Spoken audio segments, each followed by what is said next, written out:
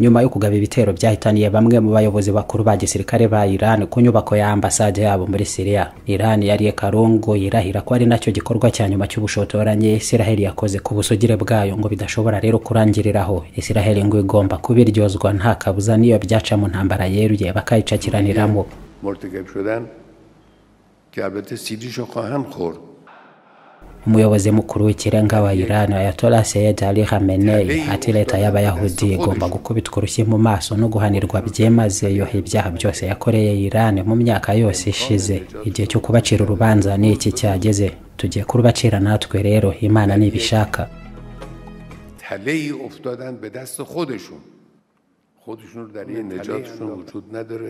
N'amakuru menshi y'ubutasi bwa Isiraheli n'abanyamerika bafatanije mu burasirazuba bwo hagati ahurira ku kuba Iran noneho ibyivuga ikomeje koko kuri iyi nshuro ngo ni intambara yeruye bari gutegura kuri iki gihugu cya Isiraheli ntabwo bikiri byo kubinyuza ahubwo mu gutera inkunga abayirwanya nka Hezbollah na Hamas ni igisirikare cya Iran ubwacyo n'ibitwaro byabo byose biremereye barangije gukusaniriza hamwe bitegura iyo ntambara yeruye na Isiraheli ku ruhande rwa Isiraheli ni igikuba kidasanzwe cyacitse hose. Minisitiri w'intebe benjamin netanyahu ati iran imaze igihe kinini cyane rwose iturwanya inatera kandi inkunga abaturwanya. Turabatangariza rero ko ibyo bazakora byose n'ingaruka byatugeraho ubwo natwe twiteguye kwirengera no kubibishyura byikubye inshuro nyinshi.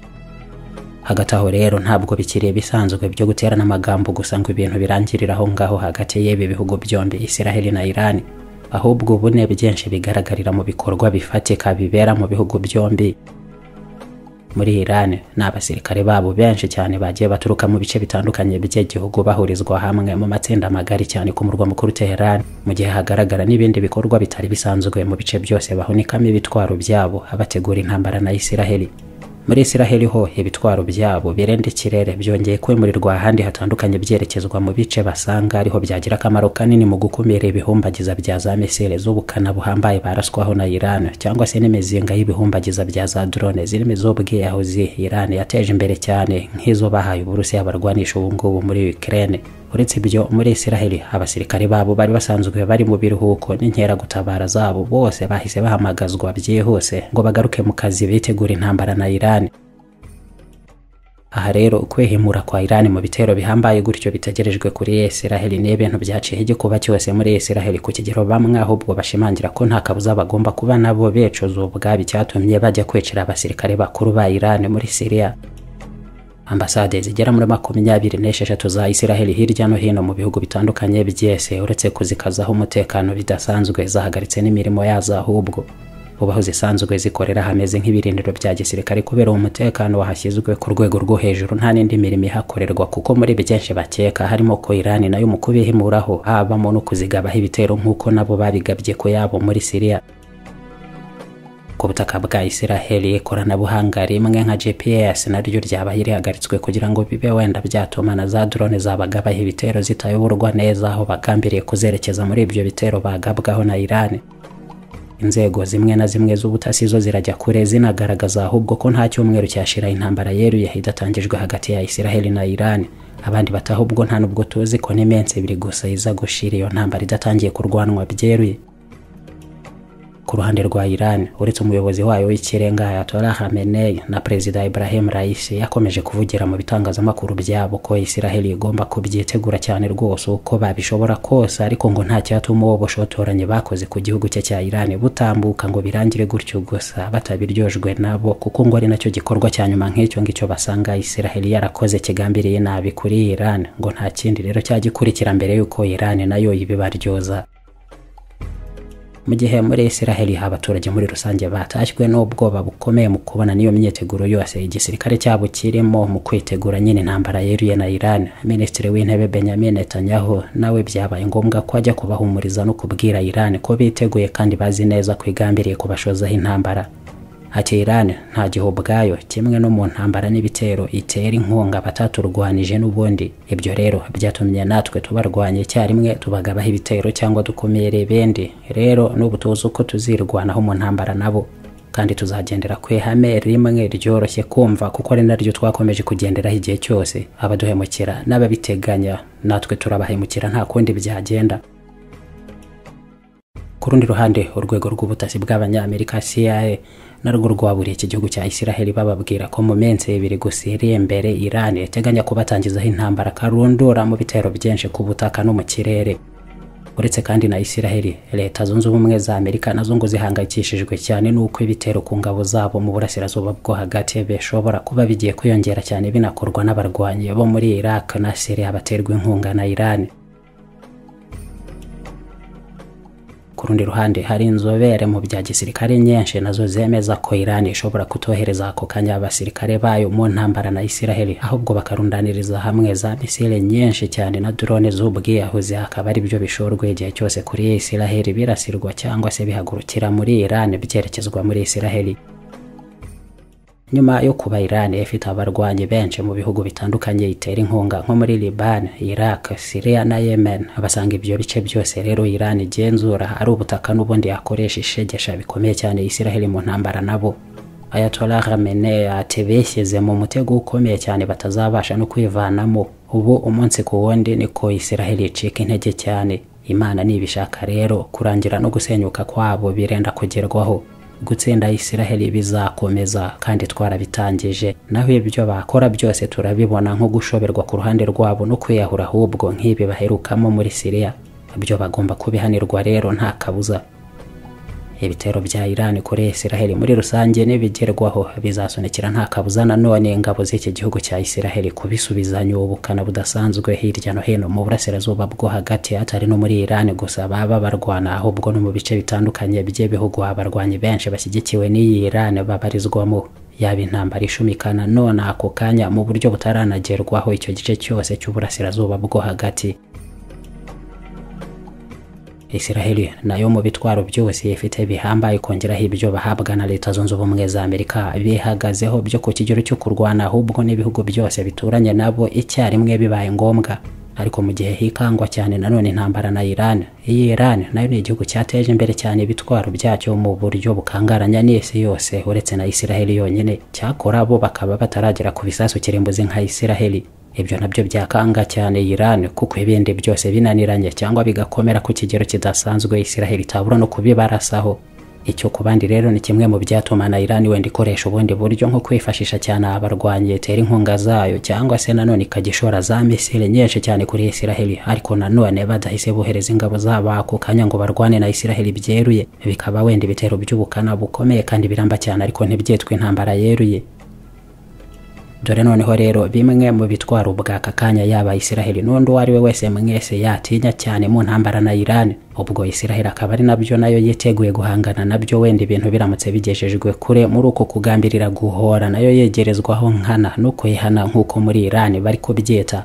Iran. Zimwe mu ntwari ifite zitinyitse cyane mwese kandi yakoze ku mubare munini cyane wazo zibarirwa mu bihumbi. Harimo misile bita ngo amasegonda magana ane kugera Tel Aviv muri Israel kuko nyine ayo masegonda ngo ari na yo byafata koko ku muvuduko uhambaye bayikoranye kugira ngo iraswe ivuye muri Iran igezwe Tel Aviv muri Israel. N'inshuro cumi n'eshanu zose rero yihutaho kurusha ijwi aho isi yose irabizi ko izo misile ziri muri bimwe mu bisasu by'ubukana buhambaye cyane biriho mwese. Mu burengerazuba bwese bayise miso magana atatu na mirongo itanu n'umunani. Ahanini nubwo yakoreshwa igeraho iraswa ku butaka ariko ahanini abanya-Iran bo bayikoza ariyo kurasa ibyanyuzwa mu kirere byose birimo izindi misile drone n'indege z'intambara ndetse n'ibindi ibyo ari byo byose byanyura mu kirere. Iyi ubuhanga ikoranye bwihariye mu buryo ihendutse cyane kandi ari ubukana buhambaye cyane gutyo. Bigatuma Iran izitunze rero ari nyinshi cyane.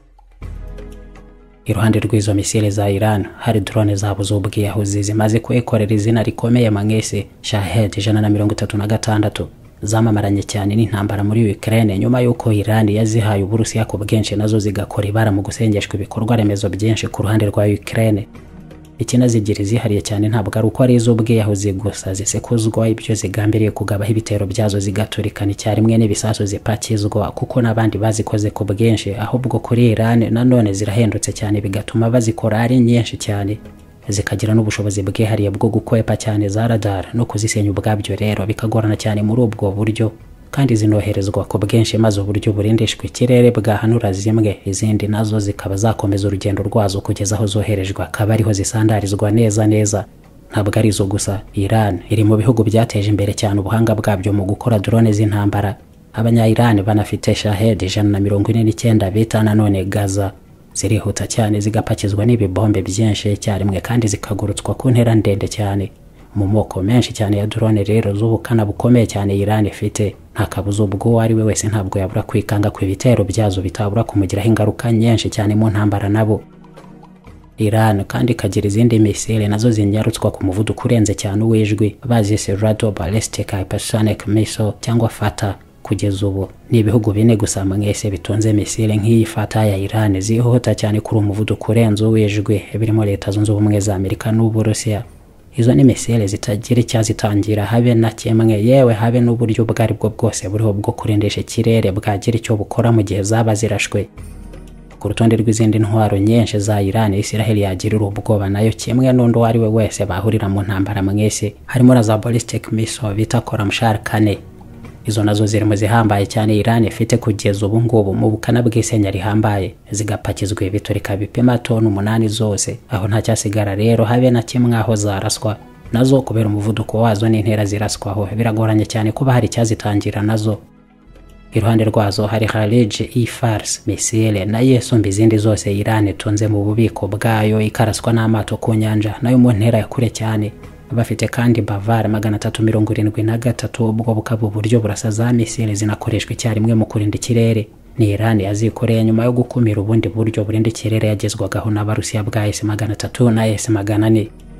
Iyi na yo rero ni imwe mu zindi ntwaro nyinshi zihambaye Iran tunze ziri no mu zatera ubwoba cyane abo barwana bari bo bose mwese kuko ari uburyo bwakoreshwa kenshi no mu guhanura indege z'intambara cyangwa na drone izo ari zo zose zigezweho mu ntambara. Icyarimwe kandi misile za Bavar magana atatu zigakoreshwa ubwo zinagabira ibitero icyarimwe ku byarenga bitandatu byaba bigabye ibitero mu kirere. Ibi bitwaro byose by'ubukana buhambaye cyane Iran itunze. Ni nabyo byatumye Israel n'abanyamerika nabo betegurana ibyo bashoboye byose kuko babibona neza ko intambara yeruye na Iran yarahiriye gutangiza byanze bikunze mu kwihaniza Israel. Nta kabuza yaba ari intambara itoroshye na busa. Ariko ku rundi ruhande Israel nayo itunze ibitwaro byayo byinshi. Birimo ibyo kuri icyo kigero n'ibyisumbuyeho kugeza ku bisasu kirimbuzi byayo nta kindi rero nyine ku ruhande rwa Israel bavuga kitari ukuba nabo biteguye neza cyane guhemukira Iran ngo mu gihe na yo yabahemukira. Muduhemukira tubahemukira natwe n'ibyo Netanyahu wavuga abandi ariko nabo ntabwo babura kugira batese Israel yirinze igera muri ibyo byose ubundi atari na yo ibikuruye ahubwo. Bati bumvaga bate ko bagaba ibitero byicira abasirikare bakuru ba Iran kuri ambasade yabo muri Syria maze ibyo bikarangirira aho ngaho gutyo gusa.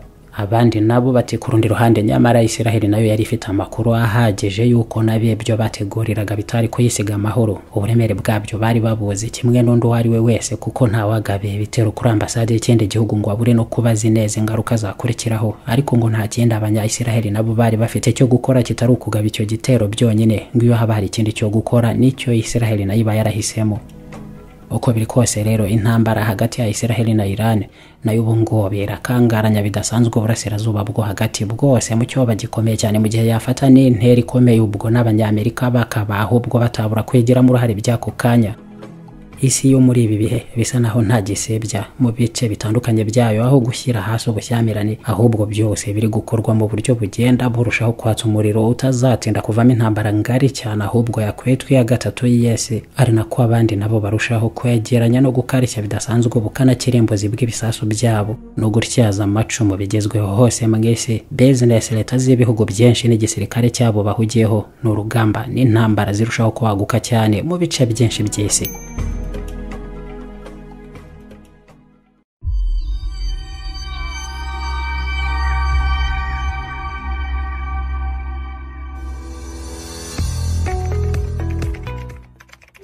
Ifex tekinoloji limitedi turacuruza kandi tukabakorera ibikoresho byose bya apple. Mu gihe wahura n'ibibazo by'imikoreshereze yabyo cyangwa se ukundi kwangirika. Mac computer iphone cyangwa ipad ni ibikoresho twe dufitemo ubunararibonye bw'imyaka myinshi. Waduhamagara kandi kuri zeru karindwi mirongo inani n'umunani mirongo ine na kane makumyabiri na rimwe makumyabiri na karindwi. Ifix technology limited. We are apple devices experts.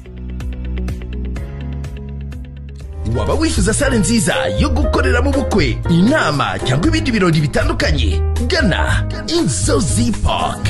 Ese waba wifuza ahantu wasohokera ukishimana n'abawe? Muri inzozi park bar restaurant tubakirana ubwuzu. Muri inzozi park kandi tubafite n'izindi serivisi zitandukanye nka dekorasiyo sonorizasiyo kandi tunategurira amafunguro abahakoreye ubukwe inama ndetse n'ibindi birori bitandukanye.